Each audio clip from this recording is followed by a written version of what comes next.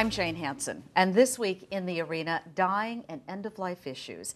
It's an unthinkable and agonizing ordeal that nearly all of us will have to face, knowing a loved one is about to die, or even that we are at death's door. The questions, emotions, and decisions that come up during this difficult time are many and we want to address some of them today. Joining us to discuss these heartbreaking issues are Monsignor Kieran Harrington, the Director of Communications for the Diocese of Brooklyn, and two staff members of Calvary Hospital, Nancy D'Agostino, Vice President of Community Patient Services, and Patricia Caffrey, the RN Satellite Administrator at Calvary's Brooklyn campus. Welcome to both of you. And I think first we should talk about exactly what Calvary Hospital is. It is the only one of its kind in the country, Nancy. That's right. Uh, Calvary Hospital is the only uh, acute care hospital, long term, for individuals who are at the end of life. And it's a, uh, we encompass palliative care uh, as well as uh, acute care within there. And what that means is uh, different from an acute care facility that's more short term, our patients have a longer time that they are hospitalized. And the reason that they come to Calvary is because they're presenting with symptoms and, and other management concerns that need to be addressed at this very crucial part in their in their life. And it's different than an active treatment kind of a center. Our concentration is on symptom management and promoting quality uh, at the end of life. And Patty, what do you feel like your mission is? Because this is this is a hard job, in my opinion, to do. Yes, it is, and it, it can be it can be really very emotionally draining. Um, but for those of us who who do end of life care, for those of us who work at Calvary, there's there's a real commitment in making sure that um, that as somebody goes through this process, which, by the way, is a natural life process, that mm-hmm. we're all going to go through it. Yeah, exactly, and and certainly it's one of those topics that typically we don't we do not want to talk about but for those for those of us who do end of life care who do hospice care palliative care it really um, it gives great joy and satisfaction knowing that we've we've helped somebody who's been suffering who really doesn't have good quality of life and and to give them their tools and and hold their hands and you know, just be a presence for them to, to help relieve that suffering and, and in essence, to have a good death. Exactly.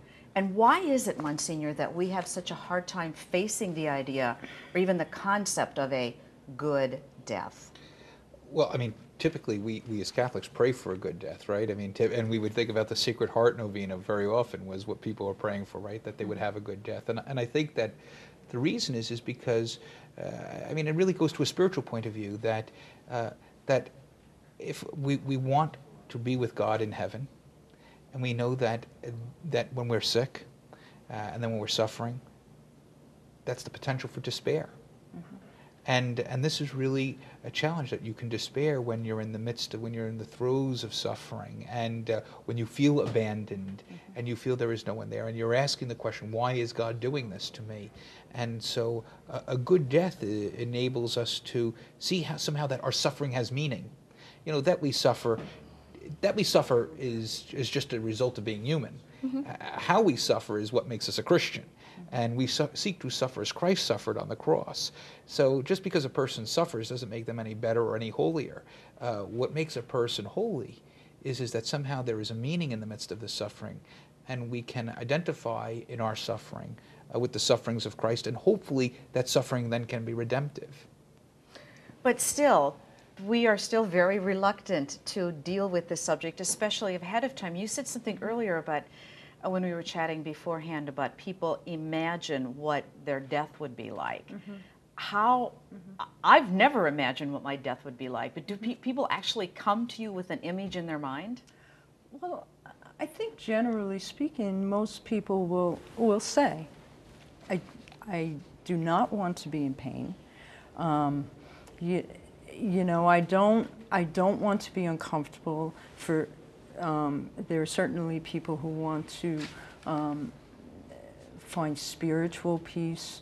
um, family peace, uh, you know, emotional peace, whatever it is. And, and I, I think when, as people approach death, they, probably they probably think more about those things. Would you agree, Nancy? Absolutely. And, and as, as they're starting to, to think about those things, um, you know, they, they may not speak it, but somewhere in the heart, they know what they want. Okay, but so your family, I mean, family members, it must be even harder to deal with them in some respects because obviously they don't want this person to die and they want them to be as lucid as they go through the process as possible. I mean, th- th- how do you deal with that? Well, uh, it's interesting because there, there is a, a, a real uh, focus from, from Calvary to work with the patient and the family as a unit because there are dilemmas all along the way. People want people to be out of pain, and yet they want them to be alert. Patients will want to uh, have options. They may not be the best choices that they have to make, but they still want to be able to have options. Um, I think it's important for whatever line of, of work we happen to be in, whether they're nurses, physicians, uh, pastoral care, individual social workers, that we support the patient and the family to help to make the best decisions at that point in time. And um, I think that one of the things that happens often is that patients and families will get way ahead of themselves.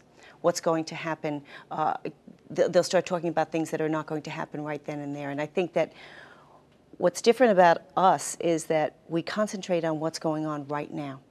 Um, and let's talk about what's going on right now with some preparation as we go forward. You talk about individuals not thinking about their death, and yet we do when we hear of someone who has been in an ICU and maybe on a ventilator, or uh, and someone will say, "I never want to be like that," or "I I want to try everything." So people at some level have some thoughts, particularly as we experience the love, uh, death of loved ones or friends or acquaintances. And there are some preconceived notions about what's going to happen at the end. We like to try and help people to support their choices. How does it, uh, in terms of having a patient uh, come to recognize, right, that it's time to go to Calvary? Uh, I would think is is got to be tough, right? That this is the moment where I'm I'm going into hospice, and uh, is that is there a sense of somehow that I'm not fighting anymore? I'm just a sort of resignation. Uh, what's what's what's what's behind? It seems like to me that the notion of someone saying to me, "You're going on hospice," you know, death is imminent, and and that's a different reality. I, yeah, I think um, when you when you talk about Calvary, the hospital, and, and the approach with palliative care, really what we're what we're looking to do is certainly to relieve somebody's suffering and, and help them be comfortable. Um, but our approach, not everybody, you don't come to us necessarily because there's a death sentence, so to speak, and you hear that out there. We take care of people who have life threatening illness. We acutely and aggressively manage their symptoms. So it, wouldn't, it would not be unusual for somebody who was at home who had a great deal of pain or shortness of breath or whatever the case may be, and you know, maybe Nancy's folks might say, well, you know, you need to go to the hospital. It wouldn't be unusual for somebody to come in for five days and, and have us, um, you know, fix their symptoms and, and improve their quality of life. And then, yes, discharge them, discharge them back. We've had many stories of how people have come in, they've been discharged, they've resumed their normal life as much as possible. Um, And have they gone on to live for a longer period, long, no, much because longer? we, we I, I think what's important to note here is, is, is this people who have life-threatening illness. So the eventuality of, of their illness, whether it be cancer, and stage heart disease, um, liver disease, whatever the case may be, the eventuality is that will happen, and we will They be may not- there. They probably won't survive. and we will be there for them again. Mm-hmm. And um, You have something called uh, Calvary at Home. So, what are the origins of that? That's what you do, the hospice care. Right? That's correct. That's correct. Um, you know, Calvary as an organization began back in 1899, And as uh, we got into the, I guess, the 1970s, it was thought that perhaps in order to be able to give care to the patients that Patty was just talking about, who went home, that we should have a division of the hospital that um, took care of individuals at home. So back in uh, 1985, uh, they opened the home care, and back in 1998, the hospice at home came into existence. They're just two different um, insurance benefits. But uh, over the years, we have grown from uh, very, very small to more than 300 patients on a daily basis. Well, I want to talk to you a little bit about that. You just mentioned the word insurance and cost. We'll talk about that in a minute. First, we're going to take a break. We'll continue this conversation in just a moment. Stay with us.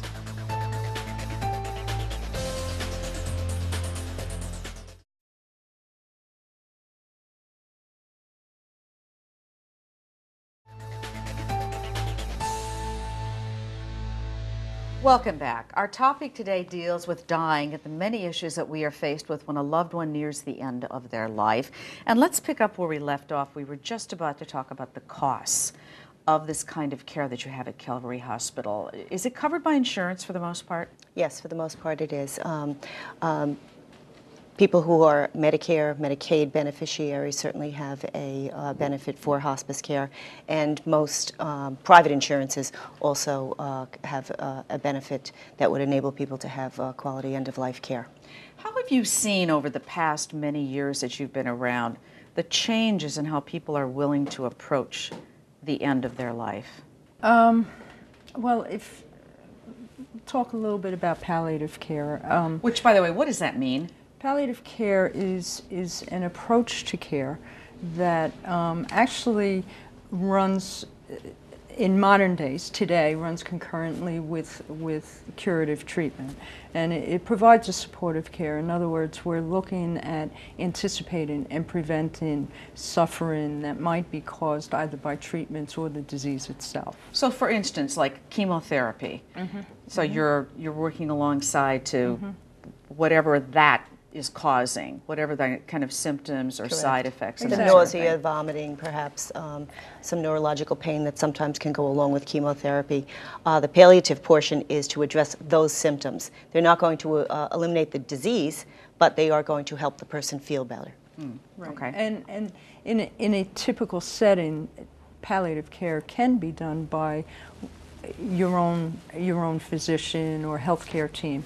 It's when it's when things become complex and complicated that it, specialists are called in to to help with that process because you know as as people's illnesses become more complex and and they their symptoms become more complex you really need somebody to to help you with that. What about the families of people who uh, or have someone whom they love who is uh, on hospice how you know because they're going to survive mm-hmm. after the patient uh, after the patient dies and what what about them i mean how do they because they they're they're left with this incredible gaping wound in their life there are lots of ways that uh, we, we assist those who are bereaved.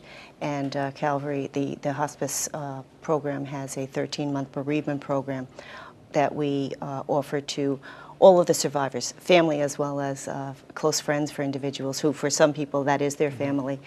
Um, and it's a variety of different efforts, uh, materials, education materials, support groups uh, that are specific to that particular person's loss. But to maintain the connection, telephone calls and that kind of thing, helping people to get over the first year of the first birthday without the person, the first holiday, and then getting over that first anniversary. Um, but it's very important for us to remember that that's another group of our, our patient care that, that needs to be addressed even after that significant loss. So how does one come to Calvary? I mean, is it is it open to anybody or do you have to have certain criteria? What's how, do, how does how do people find out and, and really learn about this that are interested watching? Well, we are a tertiary care facility for the inpatient, and I think that most um, of the hospitals and healthcare facilities in New York City certainly know well about Calvary um, physicians as well. Uh, but that being said, um, at any time, anybody can just give a call into Calvary's main number. Uh, there's always a nurse available to talk to somebody. Um, uh, and I always think that it's great if people can do that well ahead of time uh, so that they're not making decisions in the middle of a crisis. We also have a website uh, for Calvary Hospital that does give some information as well. So, what criteria should people consider then when they're making this kind of a, of a, of a hospice decision? I think, um, well, there, there are two approaches. If, if you, there may be a person at home who um, does not real, does not have the resources, um, and, and being at home is now becoming overwhelming. Um, and they need support and they need help. Um, you know, we're certainly there for them, and like Nancy said, you would call the general number, and our nurses would then assist you in in deciding whether we would send hospice in home care or um, whether you needed to be admitted to the hospital. And you can self-refer to the hospital. That wouldn't be unusual. Well, so I guess in we've just a short time left, but in today's world, this is not something that we want to face, but we have to make these kinds of decisions. And if you had any words of advice for people who know that they've got to deal with this, what would it be? I think we're, we're, we are a very special place. We are com- so committed to, to making sure that, that the person is not abandoned, that their suffering is alleviated, and, and that just all around that you're comfortable. And, and that, that and we're very committed to that, and that makes that makes us a special place. And and I think if there's any fears, you you should just know that we are the place for you to be. Nancy? And I think it's important for individuals to uh, take control of their situation. Try and find out as much information. Ask their healthcare providers about treatments that are available and what the outcomes of those treatments are.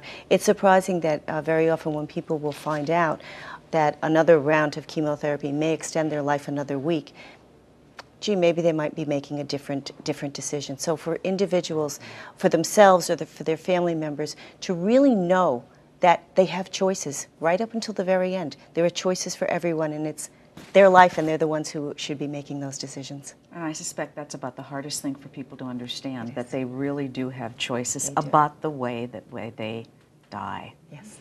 Thank you both so much for being with us, Thank and I you. really appreciate the work that you do. I know it's got to be difficult, and yet you said earlier that it brings you great joy.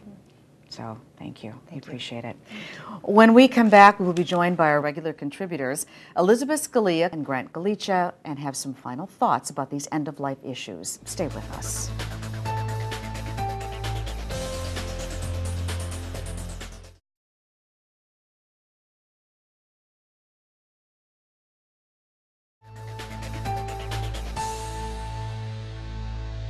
Welcome back. Continuing our conversation on end of life issues, we are now joined by the show's regular contributors Elizabeth Scalia, contributor of First Things and author of the blog The Anchoress, and Grant Gallicho, associate editor of Commonweal magazine.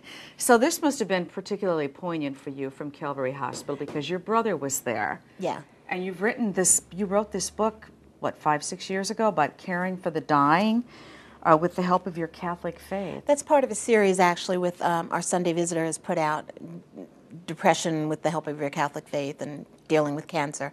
This one happened to be uh, about my about caring for the dying because they had read about my brother and But you talk about when he was, about the time he was going into hospice. He was saying, I want to be cremated and my ashes thrown off a mountain of Hawaii. And you guys are like, no, no, no. How about Staten Island? We can't afford to fly or something. I mean, it was a joke.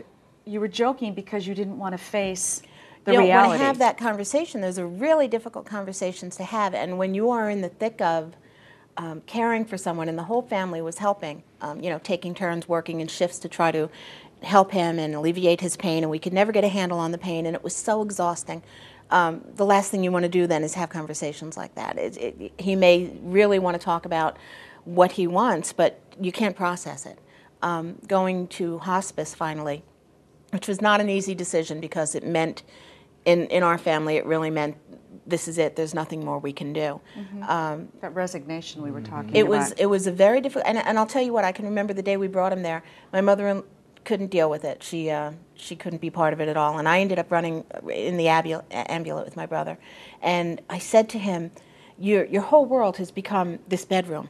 And the, the hit of pain medication. I said, when we get you in there, you're going to be able to be taken around in this very comfortable chair. There's an atrium. You can have a beer. I said, it's going to give you some freedom and mobility. And he just kind of looked at me and said, freedom and mobility, what concepts? Um, Because really, your world when you're dying becomes the end table and the, the, the TV and the bed, and, and that's it. Going into hospice gave us um, time to be free to be with each other and gave us quality time together. And, and it was a hard beauty, but it was very beautiful. And the people at Calvary were phenomenal. They, they seem like they are. So, Grant, when you think about this whole concept, you, you look at it from the ethics that are involved about how do you make those decisions? When, uh, when my grandmother was dying, I, I watched my father and his brothers struggle with the decision to unplug her. Uh, she was on a ventilator. She had had a stroke. The doctors were saying it, it was very unlikely that she was going to be able to live without the assistance of the machine. And the hospital, which was a Lutheran hospital, brought in a, a very talented ethicist who had a, a real pastoral sense about her. Um, and they struggled through all of those questions. You know, are we guiding her to death? Are we assisting in her death? Are we willing her death? Um, and so after probably two weeks of wrestling with this, they finally decided to unplug her. And then she lived for another two months. Oh! oh. it was just like, why did we struggle so long? You know, she, there was still there was still a lot of life left. She didn't she didn't wake up. She didn't become conscious, but it was it was sort of a fascinating kind of kick. You know, uh, so there there these are really tangled ethical questions. I mean, clearly the, the issue that that highlighted or the, the case that highlighted was Terri Schiavo, right? Sure. And uh, I think that that kind of put in, and, and I think there were a lot of very mixed emotions on every side. I mean, the fact is, is you know, we value life, we respect life. Here's a person in a persistent vegetative state. Even you know, when we say that, even speaking about people as vegetables seems to be ridiculous. You know, but but to use that to be in that persistent vegetative state, I mean, what is it that we are? What is that person owed? And uh, and you know, we can look at that case, and, and then, as you say, Grant, we look in our own circumstances of our own family. You know, my grandmother was 104 when she was sick. She didn't want to eat anymore. You know, does that then require that we begin artificial nutrition and hydration? She doesn't want to. I mean, or is that just part of the process of the body shutting down for the person preparing for death? They're very, very difficult questions. They're very real questions. They're the questions that we all have to sort of struggle with. Do you have an image of how you will how you want to die? With my rosary beads in my hand, crucifix uh, on my side, But I mean- breviary read, all completed, nice confession beforehand. Yeah, that's the hire per- a few keeners. that's right. But I mean, I, I honestly have never really dared to even think about that because it's too scary for me. You know, I, I've never thought about my death, but I, I remember when John Paul died. I thought it was an, an amazing asset, uh, lesson. I'm sorry, I can't speak. An amazing lesson in the whole bioethic question because um, when it came to the point where it was silly to to keep feeding him, he said, "Don't keep feeding me. You know, just let this happen." And and there does have to be a point where you say, you know, let it happen. But getting to that, knowing where that line is, is, is what's so difficult. for kind of us. interesting when you think about how uh, how much time and energy, and the Holy Father had mentioned this on uh, on Easter in his Easter sermon, right? How much time and energy we put into prolonging life, keep making sure that we continue to live, uh, and yet, if we were to live forever, you know, how difficult would that be for all of us, right? awful. It would be terrible. my mom, so, she's she's constantly saying, "I hope I don't live too long." well, I mean, well, there is a ki- because there is a kind of you know what the expression is? Is you know the you know the person who wants to live to be hundred, a person who's ninety nine. You know, so there's a little difference. I mean, you know, when is too long too Right. long? So we all kind of want, uh, we all kind of recognize that somehow death is not. I mean, for, for me, death is not scary at the moment. I don't mean But- scary the the idea of it. It's just thinking it through is what Right. I choose not to think about. Well, who knows what's coming? Right. I mean, it's not. It's not like it's not like choosing a career. It, it, it chooses you. You know. Uh, it's more like a vocation, I guess. but I, I, the other thing is, I mean, what, what, what are we hanging on to? You know, when, when we are clinging to life, what is it? I mean, as Christians, that's something. I mean, that's something that I, I constantly think of. What, what, what are we hanging on to? If you're not, if you're not allowing yourself to die, what are you? I mean, what are you And afraid yet, of? and yet, I mean, the scriptures make it really clear that life is a gift, and so we're supposed to cherish life and want life and, and That's desire life. So, you know, on one level, we are prepared for the life which is to come, and we see that our life here. Yet, at the same time, this is a gift, and so we're supposed to cherish it and and savor every last moment of it, but not recognize. You know, the key thing is, is we recognize that we're pilgrims here, that we're passing through. This is not where we've made our permanent home. Our life is in a life which is to come, but we're passing through, and we should savor these moments. And do you have last thoughts for the people who are watching who may be experiencing what you experienced with your brother? Um, don't be afraid. I, I always seem to end with don't be afraid, but seriously, don't be afraid to invest in investigating um, these end of life uh, programs that they have at Calvary. They really do follow up afterwards. Um, and, you know, a month after the death, they're, they're with you, and a year after the death, they're with you. They commit to really walking this hard road with you. And um, it frees you to really spend. We talk about quality time all the all the time. This is a real quality. You know, it's time. interesting, Elizabeth. This is, uh, you know, is just the, the, the phrase "be not afraid," right? And we, we look at that from the scriptures. But uh, something I'm always reminded of is that doesn't mean there's nothing to be afraid of. Right. And so you can say "be not afraid," but that doesn't mean there's nothing to be afraid of. My I think that what, what "be not afraid. afraid" means is that the Lord is, He's with us. He's there and he's with you. Thank you all, Grant, Elizabeth, Monsignor. Appreciate it. And thank all of you for being with us. Remember that you don't need a TV to watch the net. We are always on online at netny.net. For all of us here, I'm Jane Hanson. I'll see you next time in the arena.